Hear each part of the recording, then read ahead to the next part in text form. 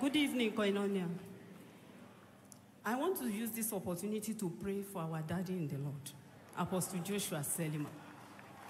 Blessed be the womb that conceived him.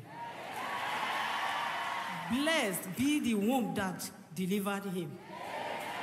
Blessed be the God of his call. And I want to pray for Pastor Kenny. You will never know a better, a, a better yesterday in the name of Jesus. I was the woman that God favored. I lost my husband last year. This month on 17th, it will be one year that I buried my husband. In my presence, my daughter passed on. I said, wherever you go, Tose, come back. And I was still the woman that I sent message to daddy, apostle. In the process of giving birth of this baby, within a thinking of a, a minute, daddy sent message that he was away. He now sent message, who am I? I called myself, who am I? Mommy, can I call you? I said, yes, daddy. He called. And that time, since yesterday 3 p.m. in the afternoon, it was 3 c.m. Immediately daddy prayed, I laid my hand on her belly in the labor room.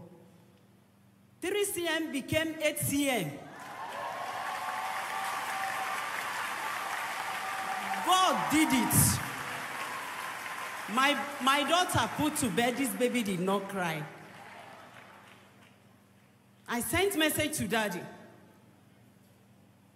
The baby came back to life. The second day, devil raised his ugly head. I was sitting with my daughter in the room where she delivered. And the spirit was telling me, sit down dear. Not white. They checked our BP. It was 120 over 80, which is excellent. Immediately, doctor left. What I heard from sleep, I only heard, ah! I saw her Steve. I said, Jesus. See her bringing blood out of her mouth. Jesus, help me. Doctor, the whole alliance doctor, they came for over 40 minutes. Immediately, I, I called Pastor Kenny. Pastor Kenny, my daughter must not die. He said, Jesus. I was rolling on the floor, praying. I saw a shoe by my side. Somebody tapped me. I, I looked. It, lo and behold, it was Pastor Kenny. He said, Mommy, stand up. I said, Daddy, I can't stand. He said, Stand. He carried me with one doctor. He said, Hold me. And my daughter has passed on that time. I said, Daddy, Tosin must come back. The God of Koinonia must not put me to shame. Pastor Kenny said, Hold me, mommy, don't talk. I hold him. Within five minutes, I felt peace. Pastor Kenny said, Thank you, Jesus. I said, Daddy, what happened? He said, Tosin has come back. Doctor opened the door and said, Mommy, come and speak to your daughter. I saw my daughter. She said, Mommy, what happened? For almost one hour. I said, You can't die because your father died yesterday, eh, last year. And I have made a promise with my God that none of my children will die in my presence. And I use her now to pray for every family in this place by the authority in the name of Jesus Christ of Nazareth. None, all of you, you will not bury your children in the name of Jesus. Your children, they will live to fulfill their promise in the land of the living in the name of Jesus. And we parents, we will not die a sudden death. We will all reap the fruit of our labor, of our labor in the name of Jesus. And as our daddy is coming in now, may the Almighty God continue to lift him up more and more and more and more and more in the name of Jesus. Can we celebrate Lord? Are you giving the Lord the highest praise?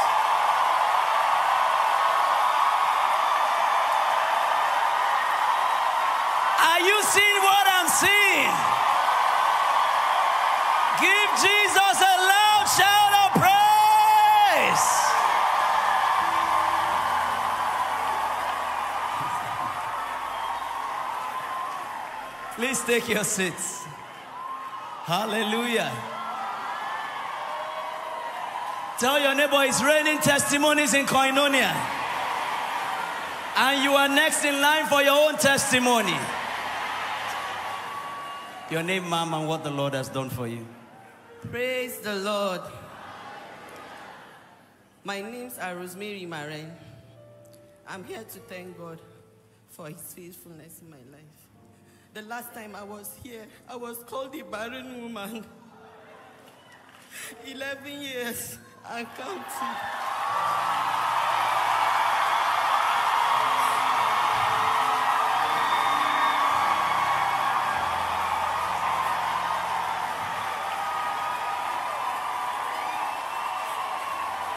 We started trying 2021. We went through IVF. I took in for twins. Shortly after, they lost. We lost them. No heartbeat from nowhere. I told daddy. He prayed with me and said, Obey the doctors. I did. 2022.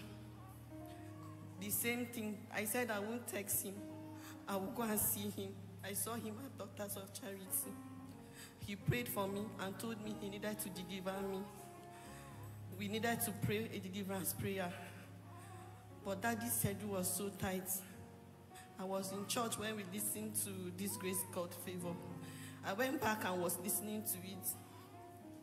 And the illustration he gave about the woman that uh, had problems in her house, but her husband was uh, making, giving miracles in church.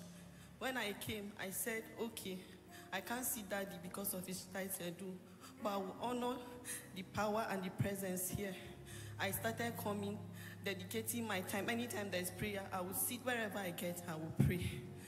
Then, that 2022, we lost twin pregnancy again. That 2023, uh, the prayer band had a night vigil. I went. I was. I'm not part of the prayer band, but I joined. I prayed. I prayed. I prayed my life out. 2023, we tried again. It, we didn't even get a positive. I gave up. I lost hope. I stopped praying. I stopped coming to Koinonia. I didn't mind going to church. My husband would wake me in the night. It's 12 o'clock. You're not praying. I won't talk to him. I'll go to the toilet and keep crying. He doesn't stay at home. He said, I hate seeing you in tears. The last time I was crying bitterly, he came and told me that if God doesn't give us children, will this marriage end? Is it that you prefer them to stay than me? You have me here. Why are you doing this? I kept praying. I, I, I didn't pray. I was down. I sent Daddy a message. I'm a shadow of myself. Things I, I don't know how to do. I don't do I do them now. I am not me. The only message he sent me is chair of my precious Rosemary. That message alone, I kept reading it. Anytime I feel down, I will carry a chair of my precious Rosemary. Continued. I came for November miracle service last year, the last miracle service in November. We waited outside to sit inside. We didn't get a seat. I was downcasted. I said, if I had known, I would have gone back home and, and, and, and viewed from home. Immediately, the choir team started singing. They were singing Oluwa. The day I was outside, I stood up to sing. Goose pimples. I started crying from nowhere. When daddy came up, the first thing he said is, We have to attack two spirits the spirit of cancer and those demons that molest women in their dreams and they lose their pregnancy. My brother was standing by me. He just looked at me. I was crying. He didn't really say any prayer, but I had already gotten it. Throughout that service, I was praying. I was crying. I didn't tell anybody. I said, ah, me, I will not try again. But we still had frozen embryos. I said, God, I won't try. My parents said, don't try. You have tried. Your body is tired. Just leave it at that. If God blesses you. But I kept having this notch to just try. I didn't tell my husband. Started going to the hospital. He was he went out for work. He was not around. Started going to uh, hospital, I now remembered Daddy still said in that miracle service that we should not un- underlook the people sitting beside us. They might be carrying a grace we need. I, I didn't know what it meant, but that word kept disturbing me. I didn't know what it meant. I started praying. I said, I won't tell my husband, let me do it. If it fails, let it be that I did not waste money for frozen embryos and I did not waste money for this. Let it just be that I tried and it failed. When we, uh, I, I started, something said, two cannot work together unless they agree. I called him and told, I want to try again. He said, whatever you want to do, I'm with you. That was how I started my process without telling anybody, just me and him. But that word, don't underlook the people that are beside you. Because I, I remember turning to the people beside me outside and said, ah, let me greet you in case you're carrying my grace. But I didn't know God meant a different thing. Two of his wife and his wife were pregnant. So when it was time to go, that night, that word kept, I said, God, what does it mean? The word just came. Mommy Bizum is pregnant. Mommy Adasa is pregnant. Ask them for the grace. I called them. I said, come and escort me. I'm going to the hospital. I, I, I was proud. I didn't know how to ask. The thing did not leave me on our way. I told them, this is what Apostle said in Miracle Service. That was December. Please, you people should pray for me. That the graces you have, you have never lost any, you have never had miscarriage, you have never lost a baby. That the grace you have, God will release it on me. And they prayed with me. That was how we went. The day of the uh, we, we tested positive. Okay, before then, the prayer that uh, Apostle said they were going to uh, sponsor some women here. I wanted to go. Something said you can help yourself. Let other people go. But anytime I started praying, I'll say that prayer they are praying for those people, I convert it to myself. Whatever prayer they are praying for the people that Apostle is sponsoring for IVF, oh Lord, I convert it to myself.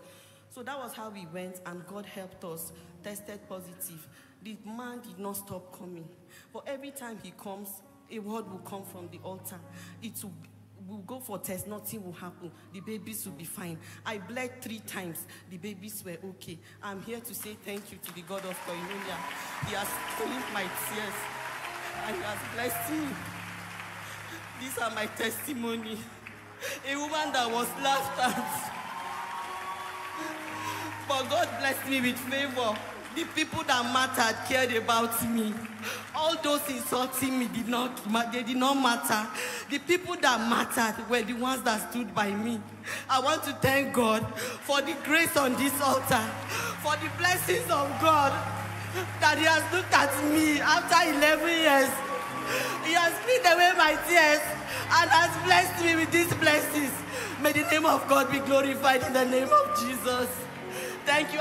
Can you join this beautiful family to celebrate the Lord? What's the one thing holding you back from living the life God has called you to? I bet it's fear. Fear that whispers, You're not enough, you can't do it, you'll fail. But what if I told you, God never intended for you to live in fear? In fact, He has given you everything you need to overcome it. Today, we're going to talk about how to break free from the chains of fear and walk in the boldness that God has already placed inside of you. And it all starts with one thing faith. Let's dive in. Fear is something we all face. It can be paralyzing, overwhelming, and even make us doubt God's promises. But here's what we need to understand fear is not from God. 2 Timothy chapter 1 and verse 7 says, for God has not given us a spirit of fear, but of power and of love and of a sound mind. Let that sink in for a moment. Fear is not your identity. Power, love, and a sound mind are. Fear doesn't get the final say in your life. God's power does. I know some of you are watching this right now feeling like fear has gripped every area of your life fear of failure, fear of rejection, fear of the unknown. But here's the good news Jesus is greater than your fear. When you feel anxious or afraid, you're not meant to carry that weight alone. In fact, Jesus invites us in. Matthew chapter 11 verse 28. Come to me, all you who are weary and burdened, and I will give you rest. Fear can weigh you down. It can make you feel like you're carrying a burden too heavy to bear. But God is saying, Come to me. Give that fear to me, and I'll give you peace. When you put your trust in God, you start to realize that He's bigger than your fears. Isaiah chapter 41, verse 10 reminds us Fear not, for I am with you. Be not dismayed, for I am your God. I will strengthen you, yes, I will help you. I will uphold you with my righteous right hand. God is literally promising that you don't have to do it alone. He's holding you up, even when the fear feels overwhelming. What if, instead of focusing on your fears, you started focusing on God's promises? Practical steps to overcome fear. So, how do we practically overcome fear in our daily lives? Here are three key steps. Number one, meditate on God's Word. The Bible is full of promises that combat fear. One of my favorites is Joshua chapter 1 verse 9. Have I not commanded you? Be strong and courageous, do not be afraid, do not be discouraged, for the Lord your God will be with you wherever you go. Read scriptures like this daily, remind yourself of God's truth, and fear will lose its grip on your heart. Number two, pray boldly. Prayer is not just asking God for things, it's an exchange. When you come to God in prayer, give him your fear and receive his peace. Philippians chapter 4 verses 6 to 7 tells us, "Do not be anxious about anything, but in every situation by prayer and petition with thanksgiving present your requests to God." And the peace of God, which transcends all understanding, will guard your hearts and your minds in Christ Jesus. Number 3, take action in faith. Fear tries to freeze you in place, but faith moves you forward. Whatever God is calling you to do, do it despite the fear. That's where real courage comes from. Not the absence of fear, but moving forward through it with the strength of God by your side. In conclusion, listen, I don't know what fears you're facing right now, but I do know this God has already given you the power to overcome them. You don't have to live in fear anymore.